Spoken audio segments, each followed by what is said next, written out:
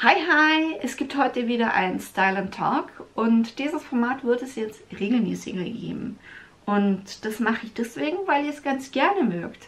Ich will jetzt nicht lange ins Quatschen kommen, wir legen einfach los nach dem Intro.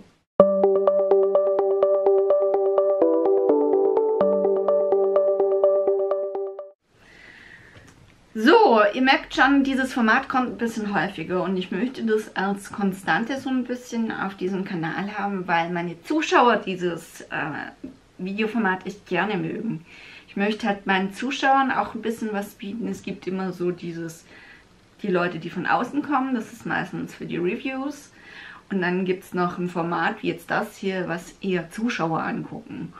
Und äh, es ist eben auch eine Möglichkeit, mit äh, euch zu reden. Und es gibt halt auch wieder so ein bisschen was. Ihr merkt schon, es gibt einige Themen, ähm, da bringt auch Fragen bei mir nichts, da antworte ich nicht. Ne? Aber äh, ihr könnt immer fragen. Ne? Also Fragen kostet nichts. Für jede Frage, die gestellt wird, bin ich nicht sauer, wenn es Dinge sind, die ich nicht beantworten möchte. Ne? Das ist ja immer in meinem Ermessen. Ich werde mich wieder so ein bisschen herrichten und ich verwende wieder hier das da von Puro Bio. Das äh, ist recht flüssig und äh, stark pigmentiert und heute habe ich echt eine fleckige Haut. Wow. Richtig krass. Also normalerweise stört mich das nicht. Ich habe auch schon meine Pflege drauf und so. Aber ich sehe hier gerade echt jede Menge Rötungen. Das ist richtig man braucht da nicht so viel wie beim Vorstellungsvideo. Ich habe die mal vorgestellt. Das packe ich mal am besten unter das i. So viel braucht man nicht. Äh, aber so ein bisschen schon. Ich habe jetzt so ungefähr drei Tropfen.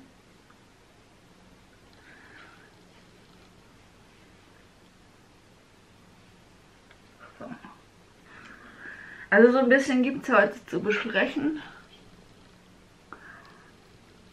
Vieles findet halt auch auf meinem äh, Zweitkanal statt, minimalistisch intuitiv vegan. Falls du den noch nicht kennst, gerne mal vorbeischauen.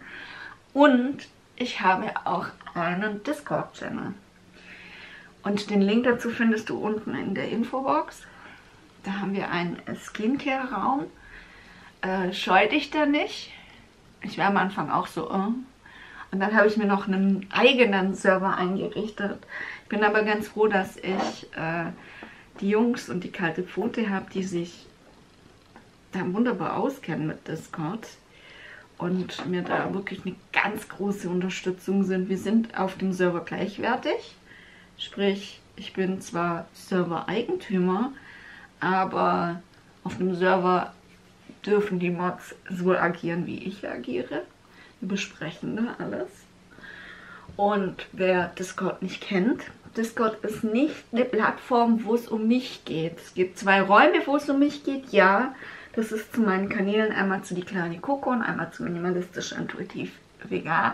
Ja. Aber dann geht es viel mehr um Themen, die euch interessieren und die so ein bisschen auch meine Kanäle widerspiegeln. Ne? Also das finde ich schon auch ganz wichtig. Weil Discord hat sich einfach auf YouTube noch nicht so etabliert. Also das kennt man noch nicht. Also kennen tut man es schon, aber äh, es wird halt nicht so mega viel verwendet. Ich habe gerade mal wieder festgestellt, wie viele Sachen ich inzwischen auf YouTube nicht mehr sehe. Ich habe eine Zeit lang regelmäßig Jasminar geguckt hier jetzt wieder in Stuttgart lebt. Die hat eine Zeit lang in England gelebt, in London. Und habe bemerkt, so ich, ich werde benachrichtigt. Ich habe bei der Glocke alles an. Aber ich kriege trotzdem Tage später erst die Nachricht, dass die Videos hochlädt. Tage später. Und ähm, das hängt halt damit zusammen, dass ich bei ihr keine Interaktion mehr leiste auf den Videos. Und mir immer mehr Videos einfach durchgegangen sind. Das ist halt normal. Und das ist schade. YouTube entwickelt sich in die Richtung, wo es halt für Creator immer schwerer wird. Und für mich ist es auch so ein kleiner Versuch, wie übt sich dieses drei Videos, ähm, das mit dem Set mache ich jetzt mal noch nicht, wie übt sich das mit diesen drei Videos auf meine Videos aus, also auf meinen ganzen Kanal aus, wird es dann mehr geguckt. Weil im Moment ist es so, aber das sieht man auch bei allen anderen. Deswegen finde ich diese Entwicklung von YouTube so schade. Das mit der Glocke hin oder her, okay. Aber wenn das halt auch nicht mehr richtig funktioniert. Damals bin ich dann halt hergegangen und habe deswegen Discord eingerichtet, weil Discord, wenn du die App auf dem Handy oder auf äh, dem Rechner hast, du kriegst dann eine E-Mail, wenn ich, wenn ich ein Video hochlade. Geschweige denn, wenn du dich regelmäßig auf Discord aufhältst, kriegst du, ähm, das war übrigens das hier wieder, kriegst du äh, das eh mit, weil der Kanal dann dick unterlegt ist. Ich zeige ab und zu mal in meinen Livestreams auf meinem Zweitkanal, wie das so aussieht. So, jetzt aber. Jetzt auch. Jetzt kommt mein neuestes Teilchen, ein Puder von Alverde. Ich hatte mir erst überlegt, so diesen Mineralpuder zu nehmen. Der ist aber komplett weiß. Und wir wissen von Alverde, viele Sachen von Alverde funktionieren halt einfach nicht. Und da hatte ich echt keine Lust, das auszuprobieren. Also bin ich eher hergegangen und Puder. Das war wirklich eine Sache, die ich nicht mehr da hatte. Gestern bin ich echt mal hergegangen und habe meine Pinsel ausgewaschen. Es sind immer noch zwei. Deswegen habe ich jetzt nur so einen kleinen Puderpinsel die äh, noch nass sind. Und das habe ich mir gedacht, das habe ich zwischendrin gestern gemacht, weil ich gestern einen recht turbulenten Tag hatte. Und dann habe ich das nur so schnell gemacht und habe die nicht genug ausgewringt. Jetzt sind die halt immer noch nass, liegen auf der Heizung. Ihr wisst ja, bei Pinsel ist es wichtig, dass ihr die dann nicht so hinstellt, weil sonst löst sich der Pinsel auf. Sonst lösen sich alle Haare raus. So. Meine Haare sind halt auch so ein bisschen komisch, crunchy. Ich habe dieses feste Shampoo von Wolkensurfen verwendet mit der Henna. Da ist auch so ein bisschen Salz mit drin. Und hätte mir erst gedacht, das ist eine gute Idee, aber offensichtlich nein. Ich habe gesagt, ich zeige die Sachen ein bisschen mehr. Lavera Highlighter. Mein DM hat diese dekorative Kosmetik von Lavera leider nicht mehr. Finde ich schade.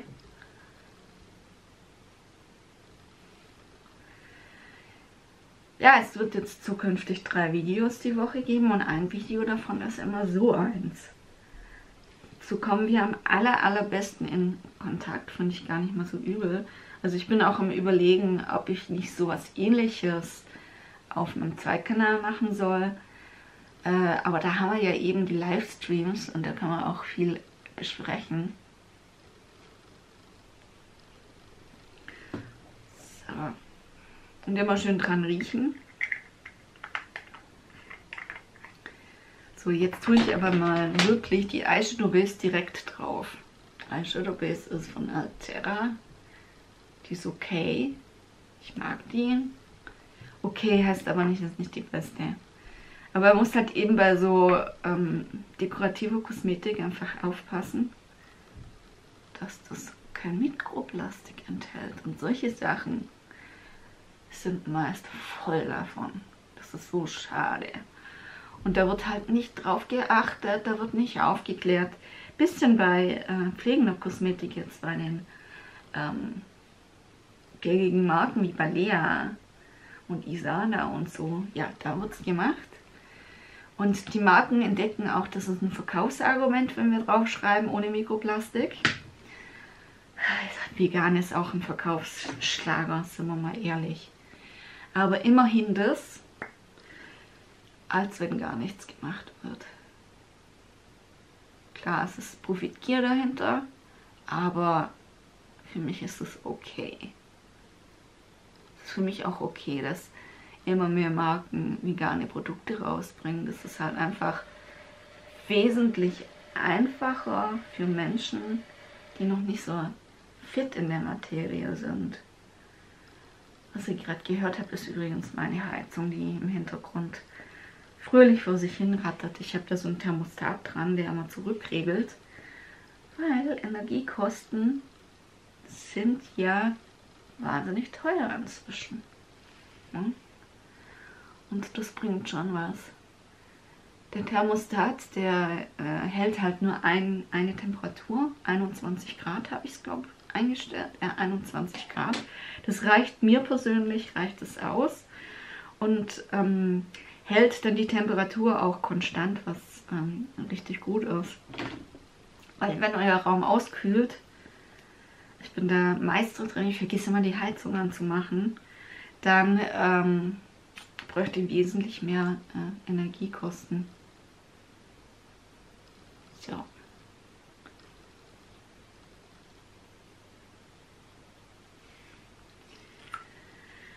Ja, ich schminke mich in letzter Zeit wieder äh, ganz gerne und nutze das natürlich auch für die Kamera aus. Eine Zeit lang ist es ja, was das betrifft, recht ruhig um mich gewesen. Das hängt aber auch damit zusammen, dass ich halt einfach keine Zeit hatte. Muss ich ganz ehrlich auch sagen.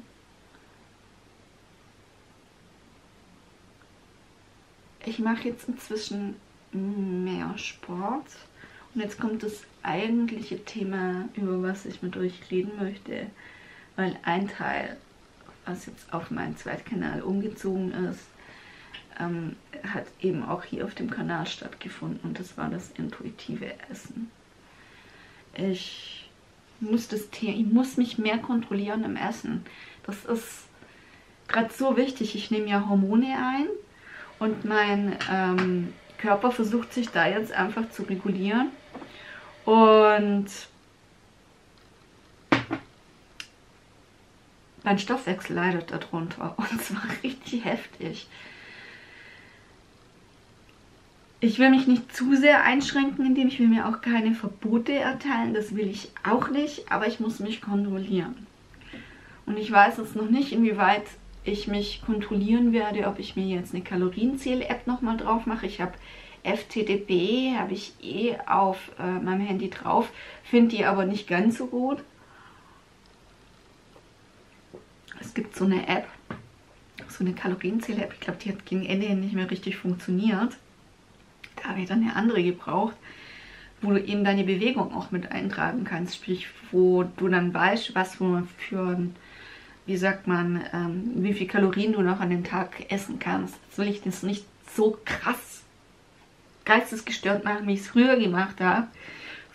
Früher war ich ja so drauf, 1200 Kalorien habe mich immens runtergehungert. Und so natürlich nicht mehr. Ich habe jetzt nicht vor, 60 Kilo zu wiegen oder so. Äh, wo ich mich, wo ich mir auch im Klaren ist, dass ich das nicht mehr ohne weiteres schaffen werde. Ohne dass ich mich immens einschränke. Das geht halt nicht. Ich gehe einmal pro Woche ins Fitnessstudio. Ich gehe, war ich gestern laufen, ich gehe morgen laufen und ich versuche am Freitag laufen zu gehen, also dreimal die Woche laufen gehen. Dann will ich einmal ein äh, Tabata Kettlebell Training machen. Und äh, will mich aber echt auch nicht zu sehr übernehmen. Ich habe mich jetzt tatsächlich äh, gegen das Fitnessstudio erstmal entschieden. Ich wollte einen Vertrag machen. Aber das Problem ist halt wirklich, wir haben hier gerade so hohe Corona-Zahlen, dass ich einfach, was das betrifft, immens vorsichtig bin. Ich frage mal in dem Fitnessstudio, wo ich zurzeit bin, bin ich aber nur einmal pro Woche, ob es die Möglichkeit noch gibt, monatlich zu kündigen, weil einen Zwei-Jahres-Vertrag werde ich nicht unterschreiben. Das Geld habe ich nicht, weil hinterher ist es dann wieder so, dass ähm, du nicht gehen kannst und für... Klar, du, die Leute müssen auch äh, unterstützt werden, das verstehe ich schon. Aber bei mir ist es momentan finanziell einfach nicht möglich. Und ähm, da haben primär gerade andere Sachen Vorrang. Aber es ist halt eben auch wichtig für meine Bandscheibe, dass äh, die nicht irgendwann komplett aufliegt auf der anderen. L2 ist mein Problemgebiet und äh, Da ist noch so ein kleines bisschen und ähm, schon allein für meine Bandscheibe und für meinen Magen muss ich halt Gewicht verlieren. Ist so. Wir müssen ganz klar darüber sprechen. Und da werde ich mich ein bisschen kontrollieren müssen. Ähm, ich werde jetzt keine super strenge Diät machen. Da habe ich gar keine Lust drauf, muss ich ganz ehrlich sagen. Aber ähm, ich habe jetzt übrigens, ich vergesse das immer, wenn ich rede. Ich habe jetzt übrigens den Lidschatten von Lily Lolo aufgetragen. Das ist kein Lidschatten, das ist Mineral Foundation. Die trage ich meistens äh, aufs Augenlid auf. Ähm, funktioniert ganz gut.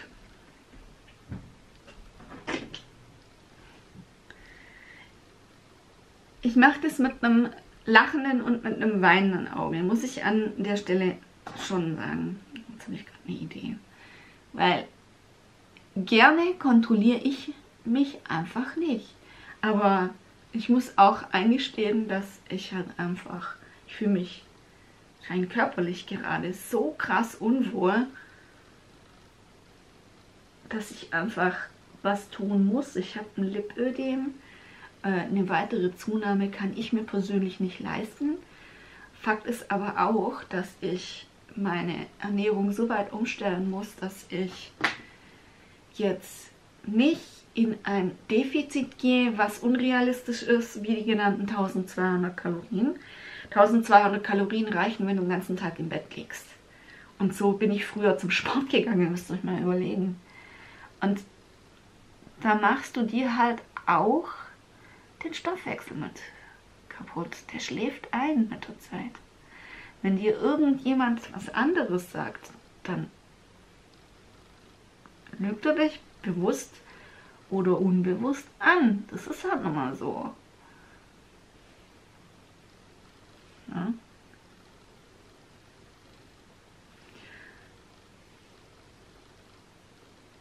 Und mein Körper tut sich anhand eben der hormonellen Geschichte gerade so, so, so, so schwer. Der versucht sich halt auch einzustellen, was gerade ganz cool ist. Dazu gibt es Videos bei mir auf dem Zweitkanal. Da geht es dann um äh, spe spezifisch um den Progesteronmangel. Und wenn du da Interesse daran hast, kannst du gerne mal reingucken. Ähm und da hat mein Körper echt dran zu knabbern. Das, ich lager immer noch Wasser ein, dass es kracht. Und ich werde mich jetzt mal die nächsten zwei Wochen intensiver mit meiner Ernährung auseinandersetzen. Sprich, auch diese ganzen Fertigprodukte mal sein lassen. Mache ich gerade eh. Also keine Pizza. Pizza, wenn sie mich anmacht, ganz wichtig. Das intuitive Essen behalte ich definitiv bei. Wenn mich Dinge speziell ganz krass anmachen, dann werde ich die essen. Kein Thema. Aber ich muss irgendwie, muss ich da jetzt einen Mittelweg finden. Und ich finde das das ist so anstrengend. Das ist so anstrengend. Das ist so nervig. Aber durch das jahrelange Diäten habe ich mir halt meinen Stoffwechsel so ähm, kaputt gemacht, kann man an der Stelle sagen, dass ich halt einfach nur wenig Essen vertrage. Und ich habe, ihr müsst euch mal vorstellen, ich habe jetzt eine Zeit lang gefrühstückt, weil mein Magen das halt einfach besser vertragen hat. Aber ich kann halt auch nicht aufs Abendessen verzichten. Kann ich nicht. Und diese, durch diese Frühstückerei habe ich halt zugenommen. Müsst ihr euch mal überlegen. Und das geht halt nicht. Das geht halt echt nicht. Und ich bewege mich jetzt schon in einem Rahmen, wo es halt echt viel zu viel ist. Ah. Ja, aber was soll's. Was Holz. Jetzt warte ich erstmal, bis meine Periode vorbei ist. Wieg mich mal nochmal, weil meistens ist es so, dass ich in der Zeit unwahrscheinlich viel Wasser einlagere. Das muss man halt auch noch mitrechnen, äh, mit einberechnen. Und dann kann man immer noch weiter sehen, wie es dann zukünftig laufen wird. Ich strebe kein Gewicht an, was unrealistisch ist. Also wie gesagt, die 70 Kilo sind für mich realistisch, 60 sind es nicht mehr. Und ich möchte mich da auch nicht ähm, quälen.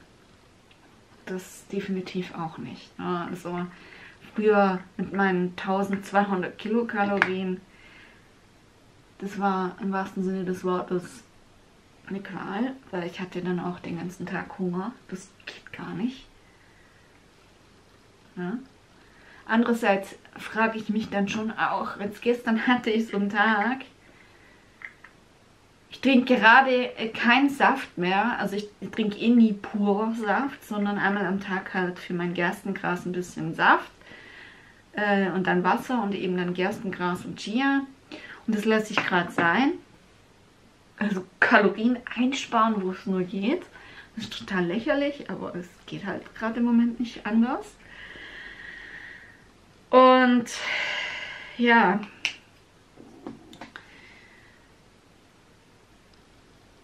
zum Sport gehe ich ja eben auch, aber man hat mir früher immer beigebracht, wer Sport macht, nimmt automatisch ab. Das ist auch absoluter Blödsinn. Es hängt halt immer damit zusammen, wie du isst. Und wenn du halt immer über dem Limit ist und trotzdem Sport machst, nimmst du halt trotzdem zu. Ne? Jetzt habe ich halt gestern so einen Tag gehabt, ich habe Schupfnudeln gegessen mit Blaukraut, bisschen Tomatenketchup, so wie ich es immer mache. Am Abend dann äh, zwei Scheiben Brot mit Aufstrich und einem Salatblatt. Mehr habe ich nicht gegessen. Klar, am Wochenende war ich vielleicht ein bisschen drüber, okay. Da habe ich einmal so eine ähm, Schüssel mit Linsensalat gemacht und der ist meistens immer schon ja, recht energieaufwendig. Das sind aber gute Energien, das darf man an der Stelle auch nicht vergessen. Naja, und das Wochenende nütze ich halt immer dafür. Ich will es nicht übertreiben im Sport. Es muss eine Routine werden, die ich regelmäßig mache und die ich in meinen Alltag einbinden kann. Das ist eben auch ganz wichtig. Irgendwie sehe ich heute schlecht. Ja, ich sehe heute schlecht. So.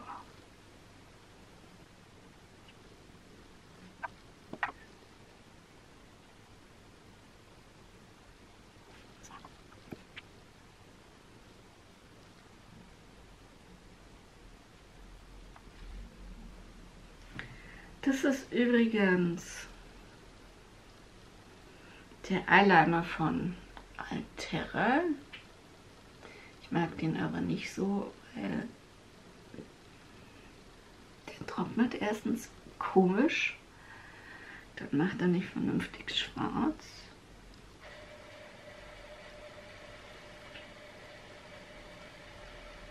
So.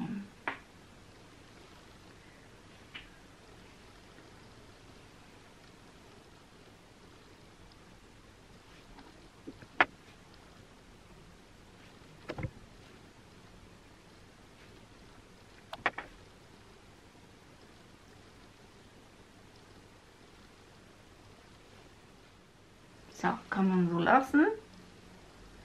Wobei der nicht so gut geworden ist. Das ist egal.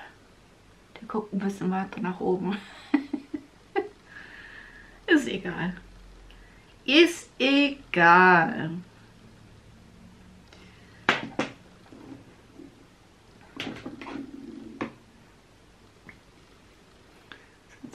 Versuche ich das hier mal nochmal.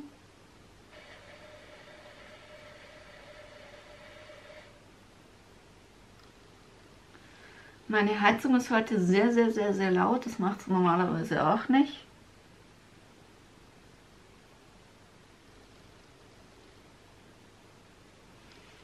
Bitte ich viermal zum Entschuldigung.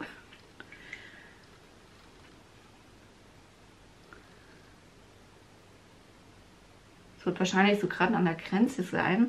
Ich habe 21 Grad äh, eingestellt und wenn das halt unter 21 geht, dann springt halt dieser Thermostat wieder an. Thermostat. Das war jetzt ein bisschen schwäbisch.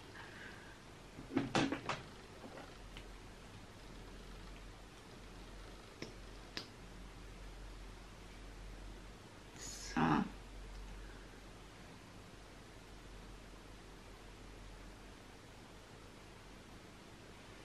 Also mich bei meinem Vorhaben nicht falsch verstehen.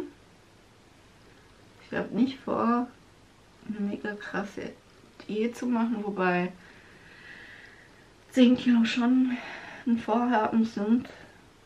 Aber das gehe ich aufs nächste halbe Jahr ein. Also sprich 10 Kilo in zwei Monaten wäre vollkommen bescheuert, zumal der Weihnachten dazwischen ist. Ähm, nee, also so, so krass bin ich dann schlicht, schlicht und ergreifend auch nicht mehr. Aber ich muss halt, ich, ich muss, ich muss ein bisschen abnehmen. Das geht nicht anders. Für meinen Rücken, für meine Gesundheit, für meinen Magen. Das geht halt echt nicht anders. So, ihr Lieben, das war's von meiner Seite. Ich bin fertig. Meine Haare sind heute blöde. Macht's gut. Die Heizung schon wieder. Macht's gut. Und bis zum nächsten Mal. Tschüss.